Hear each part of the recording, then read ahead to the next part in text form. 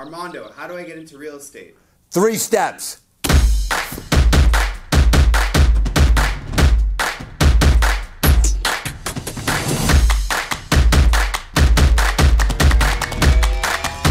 I'll see you in class.